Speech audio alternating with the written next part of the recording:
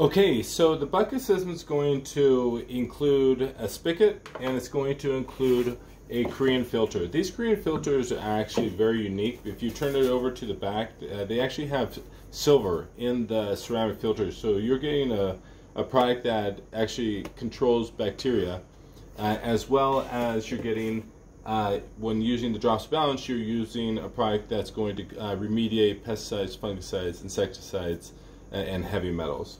Uh, the way how you actually use this product though is that you're going to want to soak your your ceramic filter completely 100%. So first you can just go in and screw that if you wanted to. Put it on put it in a bowl like this and you're going to want to put uh, water into the bowl and just let the ceramic filter just completely get submerged for about 15 minutes. Actually, there's a hole in the back of this filter where you're going to want to let it just completely fill up. And in about 15 minutes, that filter will be ready to be used. Put that over to the side. This is going to be a two bucket system. So on the bottom right here is where you're going to put your, uh, you're going to put the filter right here. And I'll show you what that looks like in a second. Your spigot, you're going to just simply screw this off leave one gasket on one side.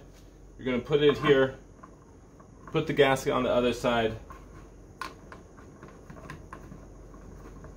and screw it all the way down to uh, to the best what your hand can do. Don't you're not going to want to use any type of equipment or anything along those lines. The gasket filter should keep the it from leaking pretty well. Okay, so now that our filter has been soaking for 15 minutes. We're going to leave the, the gasket right here, right on this. We're going to put it on the hole, through the hole right here. And screw this on right here.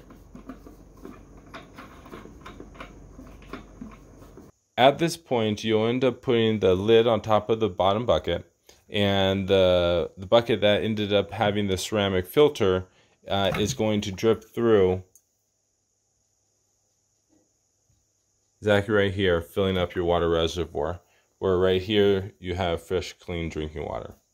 First, you're going to want to treat wa the water with drops of balance, and if at room temperature, remember that's going to you're going to want to let the water sit for 24 to 48 hours to allow the full reaction to happen and all the water to get remediated from all the chemicals in there. Like whether you're using rainwater, tap water, uh, any water along those lines, it's going to be at a rate at 5 mLs per gallon. If you use our other technique where you put 5 mLs per gallon of drops balance in and fill it up with uh, hot tap water from your faucet, you'll be able to complete that reaction within around 20 minutes and you'll see all the stuff settle to the bottom of that warm water within an hour or so. After that, you can just simply throw it into your filter, but remember you're going to want to let the reaction get completed before you put it into this top, uh, the top filter right here. From there, all of the sediment will get filtered out and you have a uh, three to three, uh, three and a half gallon water reservoir system that you can get fresh, clean drinking water at any time.